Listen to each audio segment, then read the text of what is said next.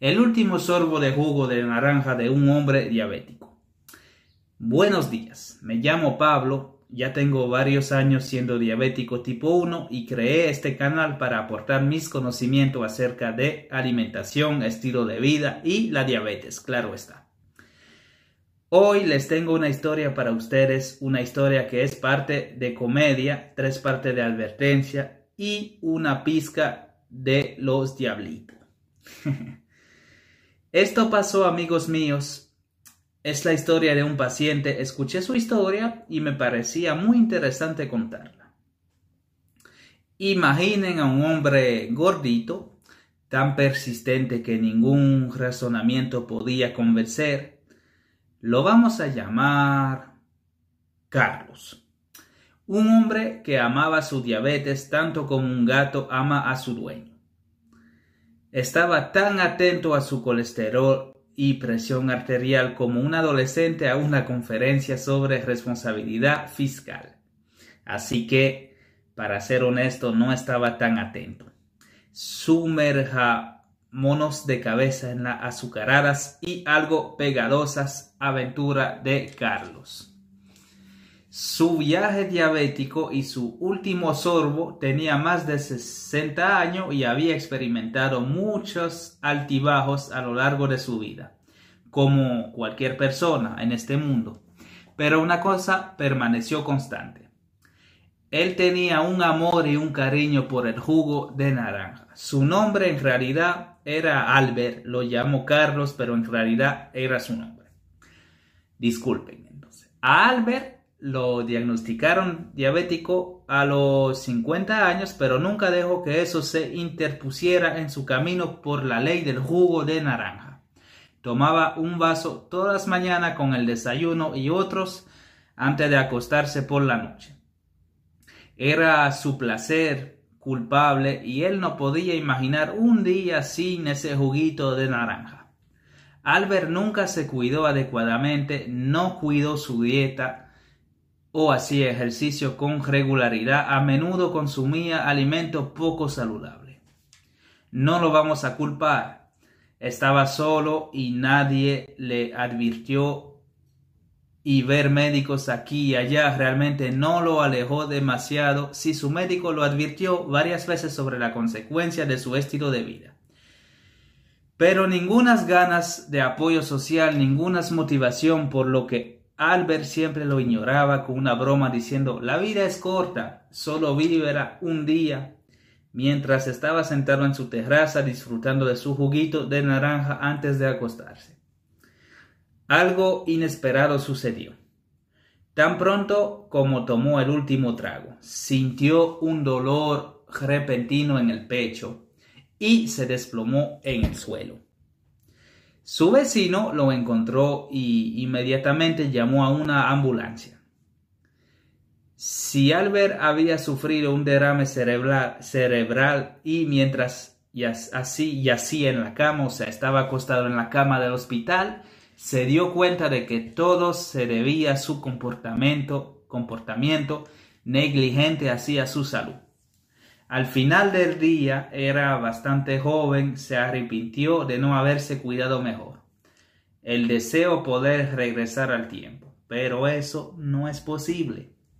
Al final, Albert falleció pacíficamente rodeado de sus seres queridos, pero su glorio jugo de naranja siempre será recordado como el que finalmente lo llevó a la muerte lamentablemente. Es crucial entender la relación íntima entre la diabetes y el riesgo de sufrir un derrame cerebral. La diabetes es una condición caracterizada por los niveles altos de azúcar en la sangre. Comienzan con resistencia a la insulina, pero en última instancia pueden dañar los vasos sanguíneos con el tiempo, lo que lleva a una serie de complicaciones. Una de ellas es un mayor riesgo de accidente cerebrovascular. La resistencia a la insulina puede causar que se acumulen depósitos de grasa en los lados de las paredes de los vasos sanguíneos, lo que impide el correcto funcionamiento de los flujos sanguíneos o incluso causar un bloqueo si estos bloqueos ocurren en los vasos sanguíneos que van al cerebro. Entonces, después de eso ocurre un derrame cerebral. cerebral. No logro decir esta palabra, pero bueno, disculpen. El hecho de que la diabetes también suele acompañar a la presión arterial alta, un factor de riesgo específico para el derrame cerebral, agrega otra etapa de riesgo a ese cóctel peligroso. Por lo que mucho que ni sangriamos de las azucaradas desventuras de Albert, su historia sirve como ejemplo como un recordatorio para tomar en serio el control de la diabetes, el colesterol y la presión arterial. Vamos a alejarnos un poco de la, la melancólica historia de Albert, arrojemos algo de luz sobre el lado positivo de las cosas. Uno de esos faros de la esperanza en el ámbito del control de la diabetes es la incorporación de algunas hierbas y suplementos antiinflamatorios holísticos en su régimen diario. Estos suplementos están disponibles en varias formas y se pueden obtener en cualquier lugar, preferiblemente de una fuente confiable. Cuidado con esto, amigos míos. Ustedes saben que buscan combatir la inflamación crónica. Es posible que no necesariamente reduzcan el nivel de azúcar en la sangre, pero en general al menos reducen la inflamación asociada con la diabetes. Por eso la inflamación crónica puede exacerbar la resistencia a la insulina y contribuye al daño de los vasos sanguíneos por lo que mantenerla bajo control es vital para su salud en general, especialmente crucial si está viviendo con diabetes. Ahora bien, en particulares, algunas investigaciones prometedoras sugieren que algunos de los suplementos pueden reducir potencialmente el riesgo de accidente cerebrovascular. Pero no todos los suplementos son correctos. Es por eso que hay algunos suplementos que no tienen evidencia de que las personas todavía los tomen. No significa que no lo estén, es útil. Simplemente no hay suficiente evidencia porque no hay suficiente dinero sobre la mesa para que nadie pueda hacer grandes estudios correctamente. Pero al final del día hay algunos compuestos que se han estudiado bien y algunos de ellos funcionan reduciendo la inflamación y el estrés oxidativo,